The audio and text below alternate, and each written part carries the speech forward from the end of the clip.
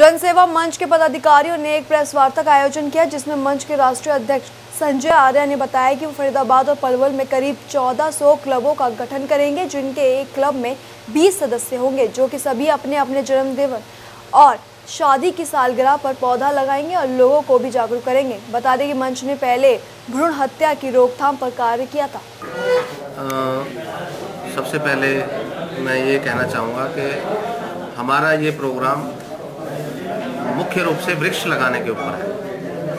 कि अधिक से अधिक हमें वृक्ष लगाने चाहिए। ये मैसेज हम जो है आज के इस प्रोग्राम के थ्रू देना चाहते हैं सभी। भाइयों इसके साथ साथ बात करें तो किस तरह से प्लानिंग की है किस तरह से क्रिया रहेगी वृक्ष लगाने की?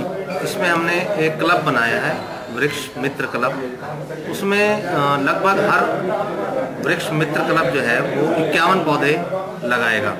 और सभी से ये हमने, ये अनुरोध किया है कि अपने जन्मदिन एवं अपने विवाह की जो तिथि है, उसके ऊपर वो एक एक पेड़ लगाएगा और उसे अगली तिथि आने तक उसका पालन करेगा, पोषण करेगा।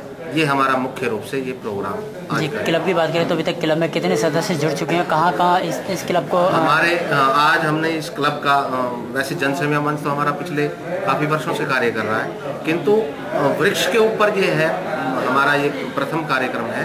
तो इसमें हमने लगभग जो है सत्तर वृक्ष मित्र क्लब जो है बनाए हैं।